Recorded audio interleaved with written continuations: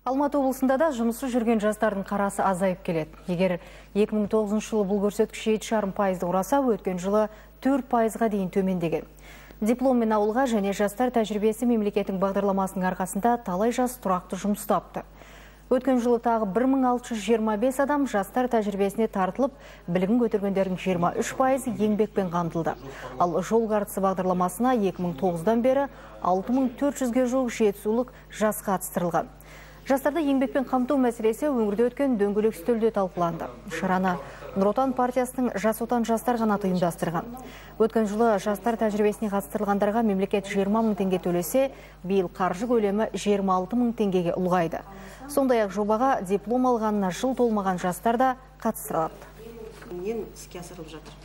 Алматы облысының жастар саясаты орталығы бар. Бізге өте тапшы болып келетін екі маман ол жаңағы дизайнер веб-дизайнер дейді или компьютерлік дизайнер. Сонымен қатар тілші.